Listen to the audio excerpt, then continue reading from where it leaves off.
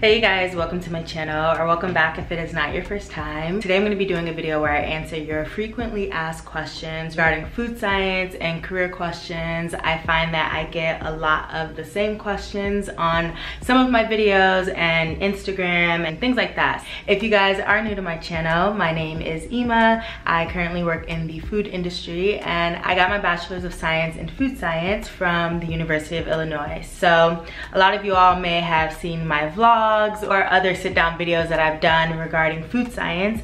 And these videos, I wish that they were on the internet when I was going into food science or going into my career of food science, but it's okay. So definitely make sure to hit the subscribe button and follow me on Instagram if you guys would like to see what I get up to on the weekends or throughout the week or just what I post on Instagram. Definitely follow me there. It will be linked below and it will be on the screen as well. So I will link previous Q&As in the description box so you guys can see other questions that I've answered before. Chances are if I don't answer the question in this video, I've answered it in a previous video. So like what I do, things like that was in the last Q&A. So my laptop is here and I'm just gonna go ahead and read off some questions and answer them. Okay, the uh-huh. first question is, I'm just wondering, could you get a job with a bachelor's degree?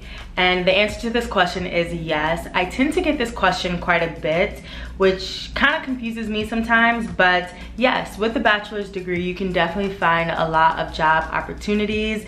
I have my bachelor's of science in food science. I have not gotten a master's yet. I don't know if I'm gonna get a master's or a PhD. I just don't know yet. But obviously with more education more doors could open for you depending on the role that you're looking for or the area of expertise there are some jobs in the food industry where you do need more than a bachelor's degree so yes you can get plenty of jobs with a bachelor's degree but it really depends on what do you want to do like do you want to specialize in something then you will have to get more education or another degree in order to find a job in that field. The next question is, is it possible to do food science even if math isn't your strongest subject? So the answer to this question is yes. It depends on how strong or how weak you feel like you are in math because I know in my role currently, I work in food regulatory and there have been times where I have to do a conversion here, do a little quick math here. Um, but it really just depends on your role. So I think it is possible to do food science even if math isn't your strong subject. There are so many other areas that you could be strong in that could really help you do well in food science. But I do feel like anything that you're maybe not super strong in, you should try to find out why. Like what are your weaknesses? Is it that you don't understand? Is it that maybe you aren't applying certain methods or you just aren't really applying yourself? Why do you feel like you aren't strong in math? Because later down the road, you do wanna be able to do some like basic math, but some of these like stoichiometry, chemistry, and food engineering equations, you may not necessarily need to be super strong in because later down the road, you may not want to do that. You may not want to be in a role that has a lot of calculations and formulations and things like that. So the answer is yes, but it will also depend on what role you want to do in the future. The next question is, I'm so grateful I stumbled upon your channel. Uh, thank you. Um, I'm a high school science teacher considering a master's in food science. Do you currently have less stress and a better work-life balance than when you were a teacher? I love this question. Um, first of all, if you guys don't know, I actually was a food science and technology teacher for two years two whole years and um, during that opportunity I learned a lot about food science, teaching myself and what I really, really wanted to do and what I really didn't want to do. With that, I also get a lot of questions about why did you leave teaching? You know, do you feel a lot less stressed now that you've left the teaching field? To answer that question, yes, I do have a lot less stress and yes, I do have a better work-life balance. I personally feel like when I was a teacher, I didn't want to be a teacher long term. So for me, I just knew that I was putting in a lot of effort for a career that I wasn't really trying to stay in. So I mainly left because that wasn't my long-term goal. I had the ability to teach and the opportunity to teach was there, but I just personally felt like if this isn't my long-term career goal, I don't wanna get stuck, I don't wanna like it's stuck y'all. So i decided to go ahead and leave that opportunity and pursue opportunities in the industry which is closely tied to my long-term goal. So that is mainly why i left. It was very very stressful. I think teachers don't get enough credit for how much work they do. I was never done with work. I would go to work and granted the school that i worked for was not like your traditional just basic school. It was like an agricultural school. So we had a farm and i had a lab i had a classroom and there were so many different things that i had to manage. After a while i said no this is too much stress because even then after leaving work I would have papers to grade, I would have lesson plans to look over, I would have um, things to go pick up from the store for different labs and I feel like I was working so hard. I was working so hard and only so much of it can be really rewarding for you because there are some students who have behavioral issues and you have to discipline them and it's just emotionally, it was very emotionally draining. So yes, I do have a better work-life balance and I'm just really grateful that I did make that switch when I did because I actually left that industry right before the pandemic and I'm so grateful. I'm just so grateful because whew, I'm just so grateful. It wasn't like the easiest thing afterwards, but yeah, I'm grateful that I left when I did. Just back to the comment, I think a master's in food science would be really, really fun. And kind of going off of that question, the next question is, how do you maintain work-life balance in this industry? And so just kind of putting that all in one, the reason why I say my work-life balance is a lot better now because I don't have to go home with all this work kind of like looming over my head and I feel as if I've gotten a better grip on boundaries in the workplace and being able to schedule my life not just work work work i can balance working out i can balance hanging out i can balance trying new things traveling and just not having this pressure that I have to get everything done today. Yes, there are deadlines. Yes, there are things that need to get done at a certain time, but working in the corporate world for me, I feel like there's just healthier boundaries. Don't get me wrong. It there, you know, there's things that need to get done. Things need to get done and there are deadlines, but just realizing that, okay, tomorrow I can get that done. Today, this needs to get done.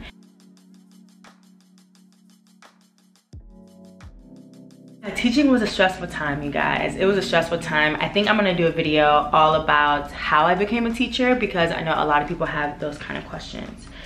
Is there a big difference between food science and nutrition science? I'm planning to do a nutrition science degree majoring in food innovation.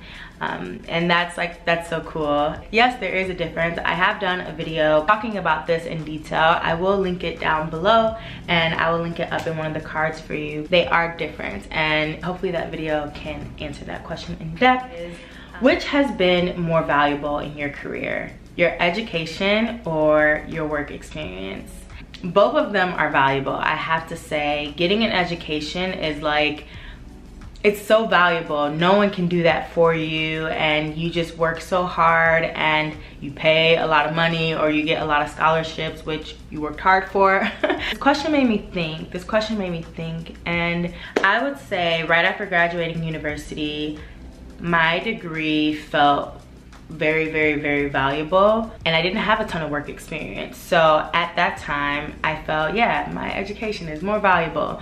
But as I grow and get more into my career and years away from college, I do find that my work experience is actually more valuable because after a while, like it's on your resume, you got your degree, but then it's like, okay, but how did you apply it? How did you get that education and now like open doors for yourself and apply it and you know do something with it so i think i would say overall after you get your degree your work experience is more valuable. When I am looking at opportunities or looking to move to the next level, it's more about, okay, but what work experience do I have under my belt? Yeah, I have a degree, which is great. A lot of people have degrees, but what have you done with it? How have you applied yourself and how are you looking to move forward? So hopefully that answers that question. But they are both so valuable and I think getting your education does have a resilience component to it. It shows that you're willing to study and you're willing to get good grades or you're willing to go to class. There's so many different elements to that. Have you ever experienced job rejection? How do you overcome this feeling? And I love this question because it's just a real feeling that I think society, we don't really normalize rejection being an emotion that we should learn how to process and learn how to, yeah, process. I've experienced job rejection. I only know one person in my life and one of my mentors, she has never been rejected from a job interview. Like never been rejected, never, ever, ever. And I was like, that, that is crazy. But yeah, I have experienced job rejection and something that I think I've learned through experiencing rejection, not taking things too personal, but also taking rejection as a form of feedback. And it's levels to that. Obviously, no one wants to feel rejected. No one wants to put in effort for something, then they don't get it. Like sometimes you feel ashamed, sometimes you feel embarrassed, but when it comes to rejection, just not taking it too personal, you put that foot forward. Maybe it wasn't your best foot forward. Maybe it was your best foot forward. Maybe the company is like, hey, you're a great candidate, but someone else would be a better fit long term. Like being able to think of scenarios about why it didn't work out. And I have learned after being rejected, those opportunities that I used to think that I wanted so bad, later on in hindsight, I realized that those opportunities were not meant for me long term. They were meant to teach me a lesson. They were meant to give me exposure, give me experience on interviewing, on interacting with other people and being able to just get better at interviewing. You have to reflect and you have to just really think about what do I think I did well and what do I honestly think I could work on and do better. And also just looking on the internet for more tips and tricks about interviewing.